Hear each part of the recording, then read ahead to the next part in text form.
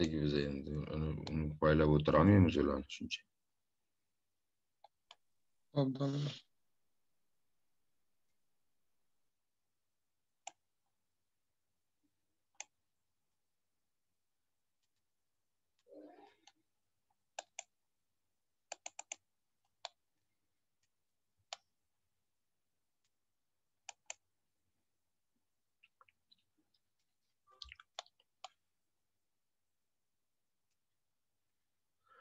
Xo'p, kiradiganlar kiringlar tez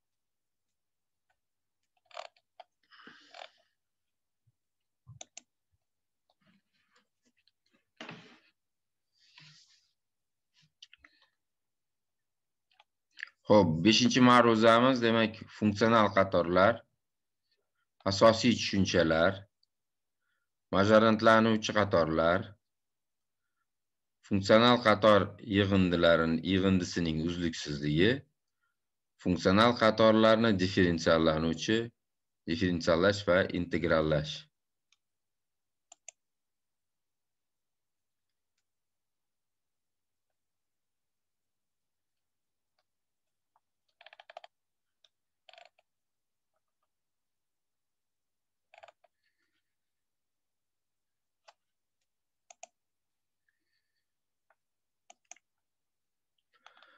Reja. Funksional qatorlar funksional qatorning tekis yaqinlashishi, funksional qatorlarni differensiallash va integrallash.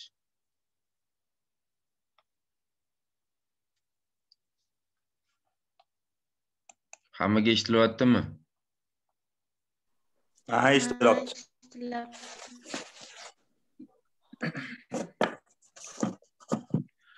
Funksional qatorlar. Ta'rif.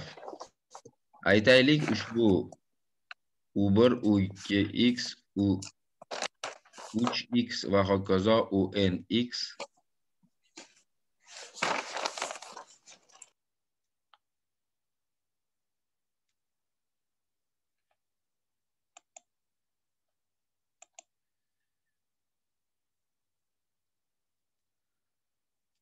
funksiyalar ketma-ketligidagi har bir funksiya AB oraliqda berilgan bo'lsin. Bu ketma-ketlik qadlaridan tuzilgan Uzundu. U1x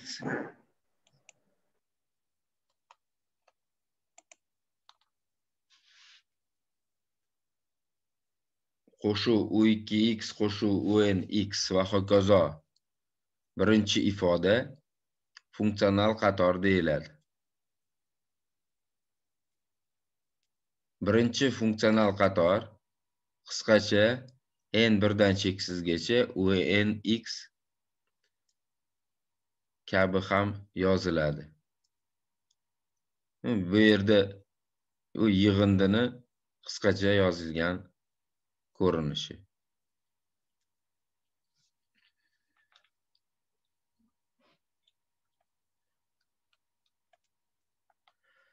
Agar x o'zgaruvchiga biror tayin x0 qiymat berilsa, bunda x0 AB ga tegishli AB oraliqqa tegishli bo'lgan. U holda birinchi funksional qator sonli qatorga aylanadi. Ya'ni tayin x o'rniga x0 qiymatini berilganda sonli qatorga aylanadi.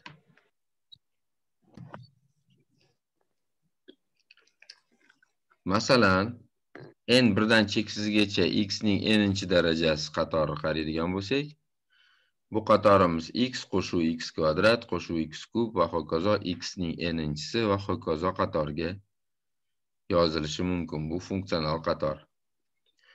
x barobar x0 qiymatida 1 taqsim 2 ga teng deb oladigan bo'lsak, bu qatorimiz sonli qatorga aylanadi. Har bir x o'rniga x0 qiymati, ya'ni 1 taqsim 2 ni qo'yib borsak, sonli qatorga aylanadi.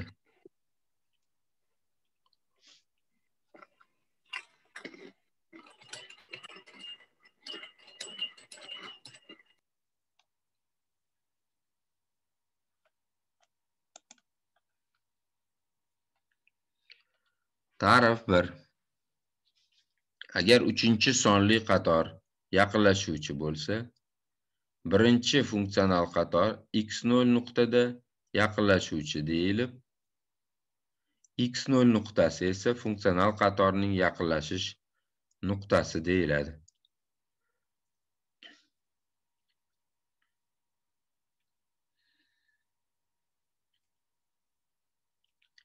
Keyingi ta'rifimiz. Agar uchinchi sonli qator uzoqlashuvchi bo'lsa, birinchi funksional qator x0 nuqtada uzoqlashuvchi deyilib, x0 nuqta esa funksional qatorning uzoqlashish nuqtasi deyiladi.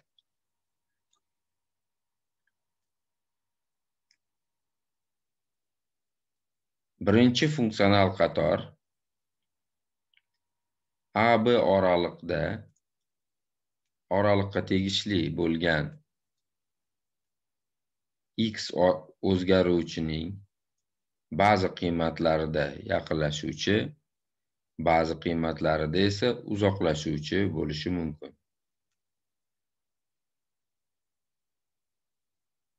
Misolimizdagi mana bu funksional qatorda x o'rniga birga teng yoki birdan katta har qanday sonni qo'yadigan bo'lsak, funksional qator uzoqlashuvchi.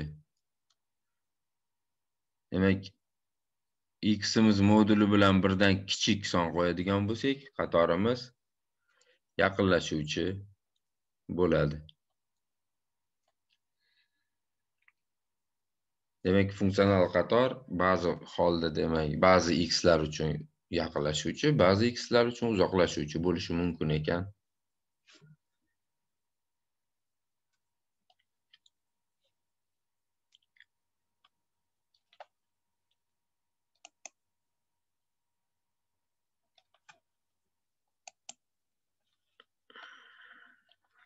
Ikkinchi ta'rif. X o'zgaruvchining birinchi qator yaqinlashadigan barcha qiymatlaridan iborat katta M to'plam birinchi qatorning yaqinlashish sohasi deyiladi.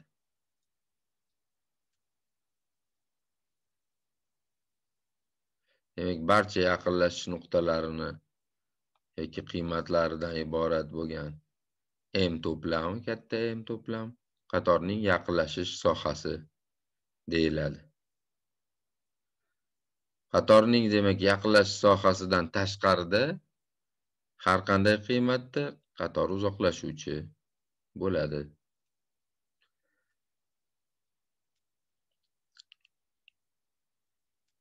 Bu holda birinchi funksional qator katta M to'plamida yaqinlashuvchi deb yuritiladi. Tushunarliki M ABga tegishli to'plam bo'ladi. Funksional qatorning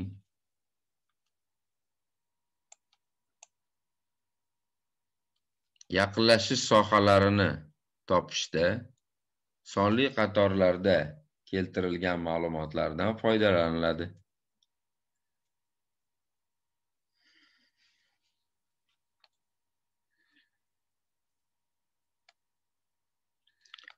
Misol.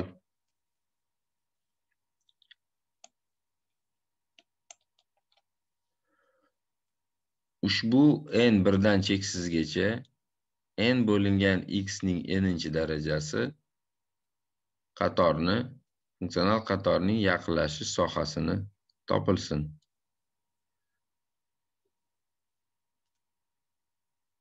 Bu qator uchun u n-chi va u n plyus birinchi xatlarini topamiz. U n ximiz bu n bo'lingan x ning n'inchi darajasi. U n plyus bir bu n qo'shuv bir bo'lingan x ning n qo'shuv birinchi darajasiga teng dalamber alomatidan foydalanib quyidagini topamiz.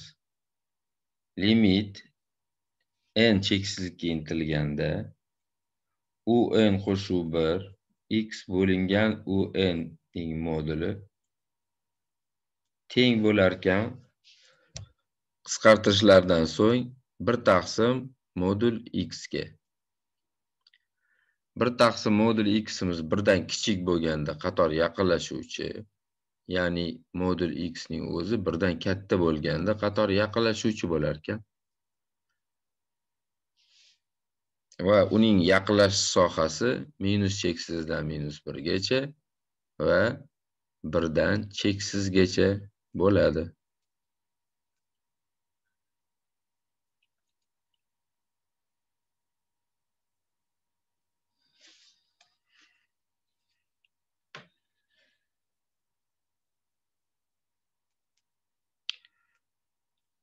Yozib ulguryapsizlarmi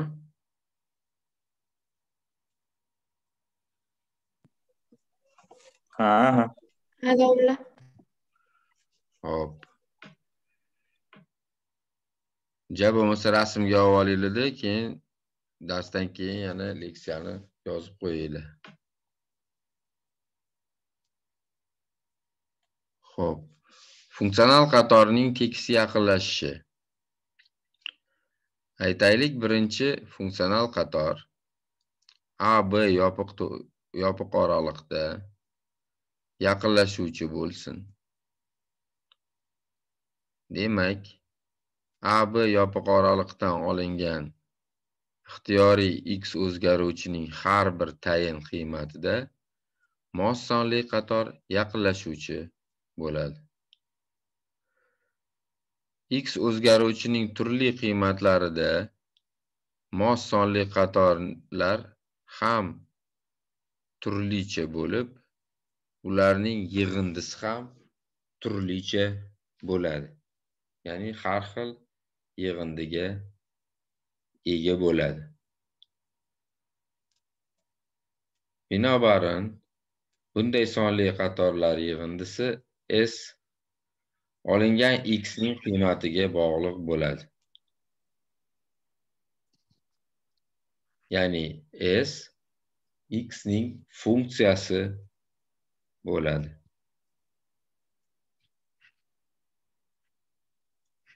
Odatda bu funksiya funksional qator yig'indisi deyiladi va quyidagi kabi yoziladi. Ya'ni snx sx bu u1 x qo'shuv u2 x qo'shuv va hokazo un x qo'shuv va hokazo. Demak cheksiz hadli sonli qator. Funksional qator yig'indisini sx ni snx orqali ham topishimiz mumkin. Ya'ni n ning cheksizlikka intilganda snx barobar bo'ladi sx ga. To'rtinchi tenglik.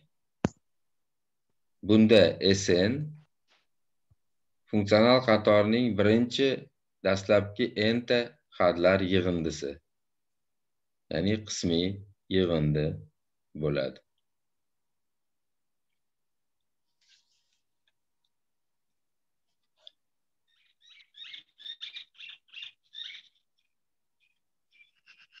Ulgurdinglarmi yozib olib?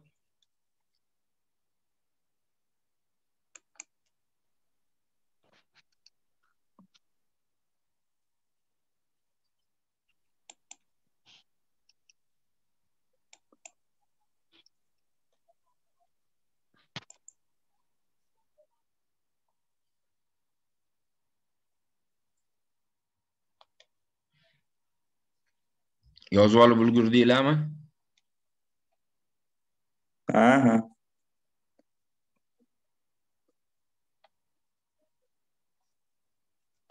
Xo'p, davom etqizamiz. Yuqoridagi to'rtinchi tenglik quyidagini anglatadi. Ixtiyoriy epsilon musbat son uchun har qanday musbat epsilon son olinganda ham shu epsilon songa va olingan x ning qiymatiga bog'liq shunday n0 natural son topiladiki barcha kichik n'lar n0 dan katta tengsizlik uchun modulda sn x ayru sx epsilondan kichik tengsizlik bajariladi.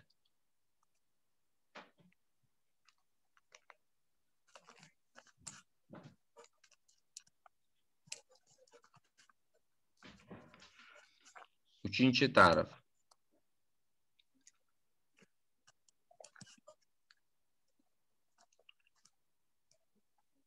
agar ixtiyoriy epsilon musbat son uchun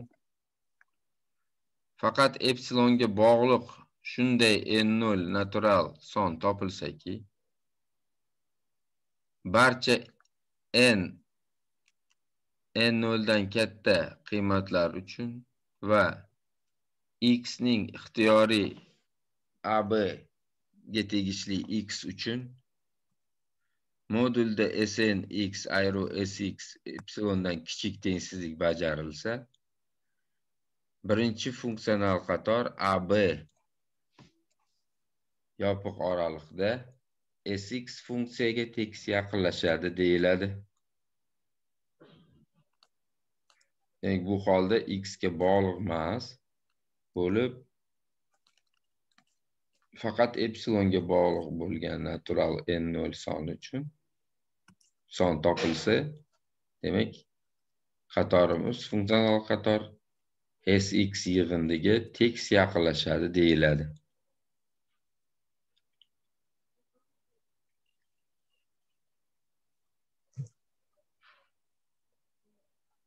Demak bu holda beshinchi tengsizlik o'rinli bo'ladigan n0 qiymat. Qiymati faqat epsilonga bog'liq bo'lgan bo'lib qaralayotgan x ga bog'liq bo'lmaydigan holda tekis yaqinlashadi deyiladi.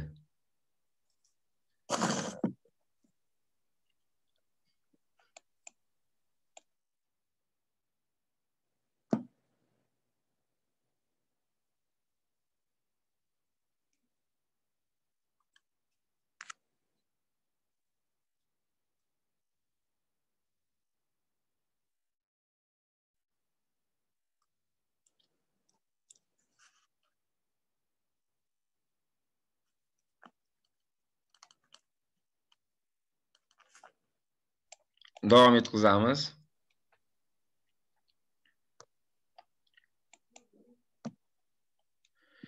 birinchi teorema koshi teoremasi agar ixtiyoriy epsilon son olinganda ham shu epsilonga ko'ra shunday n0 natural son topilsaki barcha n kichik n'lar n0 dan katta tengsizliklar bajarilganda ixtiyoriy m natural sonlar to'plamiga tegishli va ixtiyoriy x m katta m ga tegishli qiymatlar uchun ushbu modulda n qo'shuv 1 u n qo'shuv 1 x qo'shuv un qo'shuv 2 x va hokazo un qo'shuv m x epsilondan kichik tengsizlik bajarilsa u holda birinchi funksional qator m to'plamida tekis yaqinlashuvchi bo'ladi. Bu to'plamdan foydalanib amaliyotda ko'p tatbiq etiladigan veyshtras alomatini keltiramiz.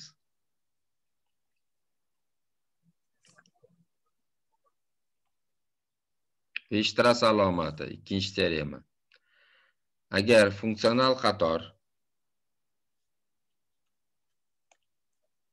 qatorning har bir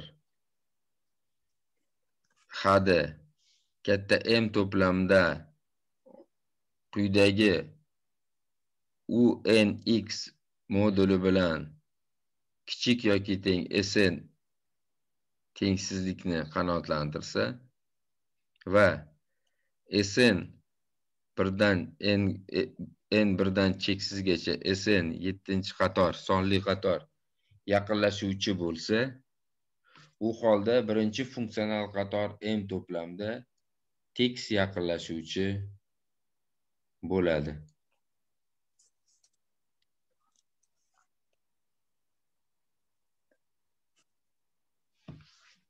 ya'ni funksional qator majorantlangan qator deyiladi.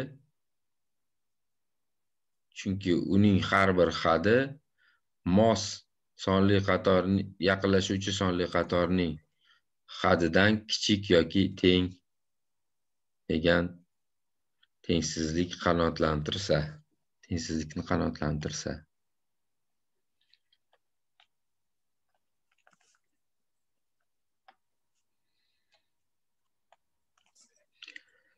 Ikkinchi teoremaning isboti. Shartga ko'ra yettinchi sonli qator yaqinlashuvchi.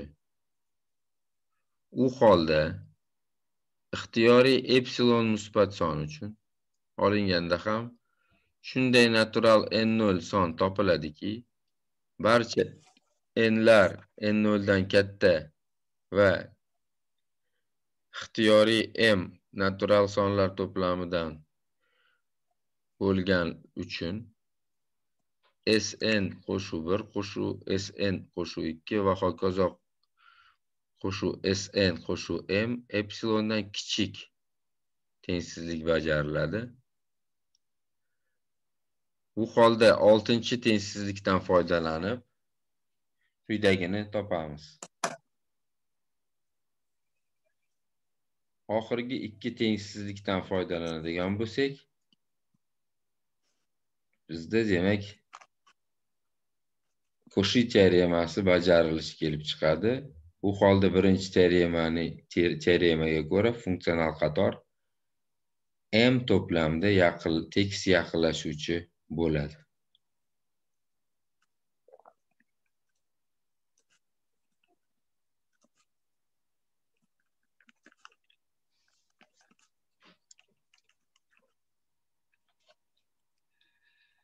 Teorema tushunarlimi?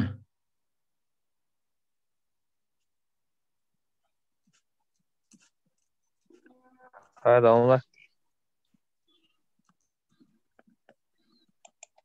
ho'p misol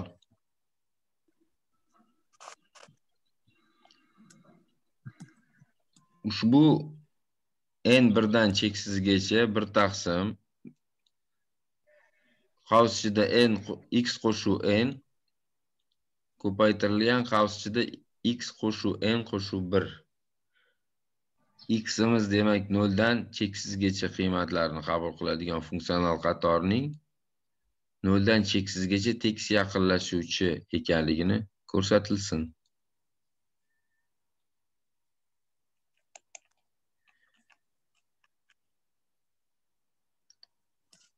Ravshanki berilgan qatorning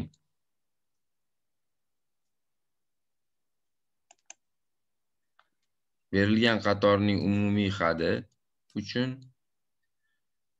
modulda un ximiz bir taqsim n kvadratdan kichik yoki teng bo'ladi. Ayni paytda bir taqsim n kvadrat umumlashgan garmonik qator bo'lib bunda alfamiz ikki birdan katta demak yaqinlashuvchi. Bundan kelib chiqadiki Beshtras alomatiga ko'ra berilgan funksional qator tekis yaqinlashuvchi qator ekan. tekis yaqinlashuvchi funksional qatorlarning xossalari. Birinchi xossa. Funksional qator yig'indisining uzluksizligi. Aytaylik birinchi funksional qator m to'plamda yaqinlashuvchi bo'lib uning yig'indisi bo'lsin. Agar birinchi qatorning har bir unx x hadi m to'plamda uzluksiz bo'lib bu funksional qator m to'plamda tekis yaqinlashuvchi bo'lsa u holda qator yig'indisi sx funksiya m to'plamda uzluksizdir.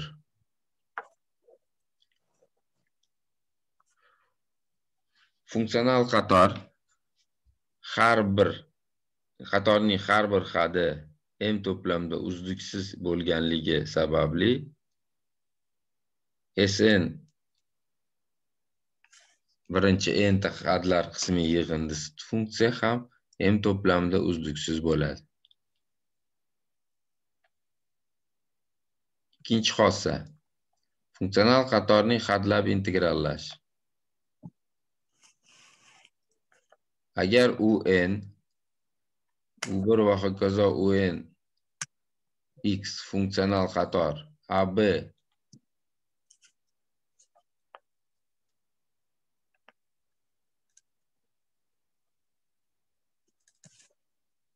yopiq oraliqda yaqinlashuvchi bo'lib yig'indisi x cx bo'lsin.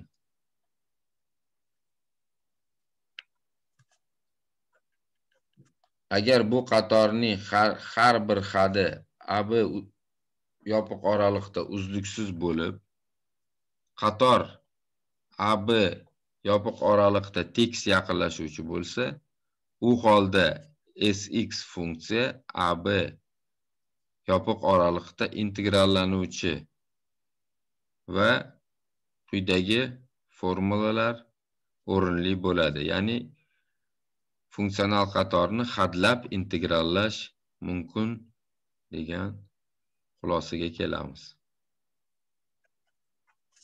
Demak integral a dan b sx dx barobar bo'lar ekan. Yig'indi n birdan cheksizgacha integral a dan b gacha un x dx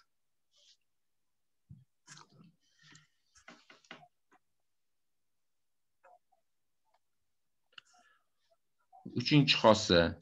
Funksional qatorni hadlab differensiallash aytaylik un x n birdan cheksizgacha. Funksional qator. Ab yopiq oraliqda yaqinlashuvchi bo'lib uning yig'indisi sx bo'lsin. Sx bu demak funksional qatorning yig'indisi. Agar bu qatorning har bir hadi a b yopiq oraliqda. Uzluksiz. Ularning uzluksiz un shtrix x hosilaga ega bo'lib funksiya hosilalaridan tuzilgan quyidagi qator funksional qator ab yopiq oraliqda tekis yaqinlashuvchi bo'lsa u holda sx funksiya hosilaga ega va s shtrix barobar bo'ladi. N birdan cheksizgacha un shtrix x. Ya'ni funksional qatorni hadlab differensiallash mumkin bo'lar ekan. Bunda differensiallangan ya'ni hosilaga hosilasiga ega bo'lgan qatorimiz funksional qator tekis yaqinlashuvchi bo'lishi kerak ekan.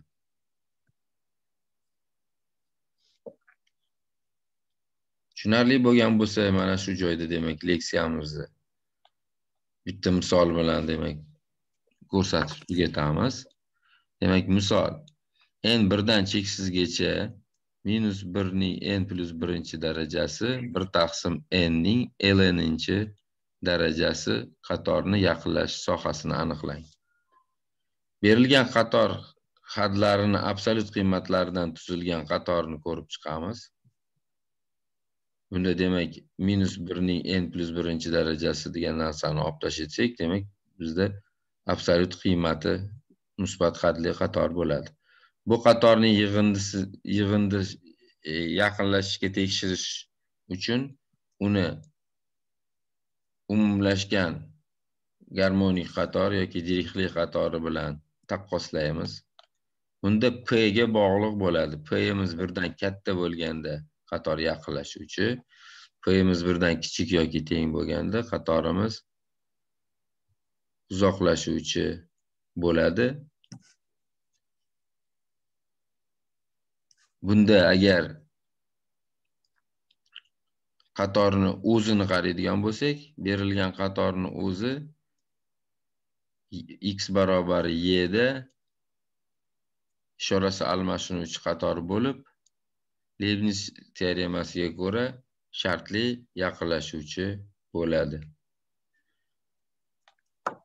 Bundan xulosa qiladigan bo'lsak ximiz y gacha oralig'i uchun natural logarifm dan katta 1 dan kichik bo'ladi va Leibniz teoremasiga ko'ra bu qator shartli yaqinlashadi.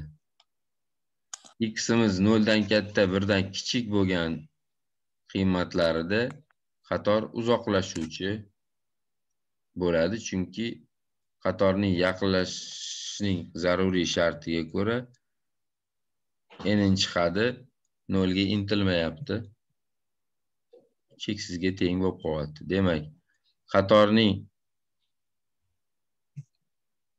x katta epsilon e, e katta y dan absolyut qiymatlari uchun qator yaqinlashuvchi bir bilan y oralig'ida qator shartli yaqinlashuvchi va bir bilan nol oralig'ida uzoqlashuvchi bo'ladi. Shu bilan bugungi mavzuamizni tugatamiz. Savollar bo'lsa berishinglar mumkin.